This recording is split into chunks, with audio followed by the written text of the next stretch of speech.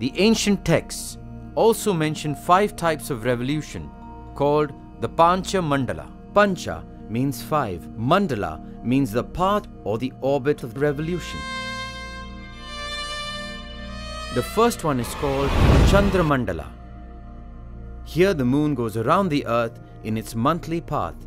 This has long been known to all civilizations from time immemorial.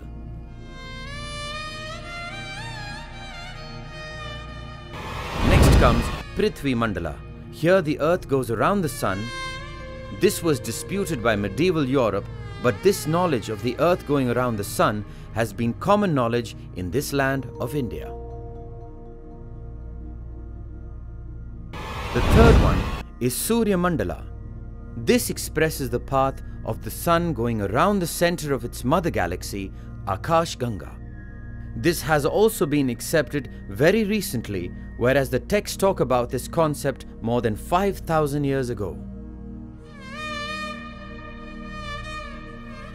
The Yajurveda, Aruna Prashna, records the observations of a lady rishi called Kavi describing the Surya Mandala.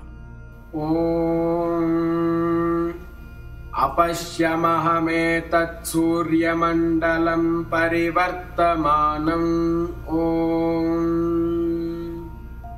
I see the Surya Mandala revolving along with it many suns. The Parmeshti Mandala is a group of galaxies spinning together around their center. This has been confirmed less than two decades ago by modern scientists. And the last is the Swayambhu Mandala. Modern science does not speak of this at this moment. This is a concept of there being one single point which has been undeciphered or not understood from which the Big Bang happened, the point where all the galaxies will converge at the end of this cycle of creation.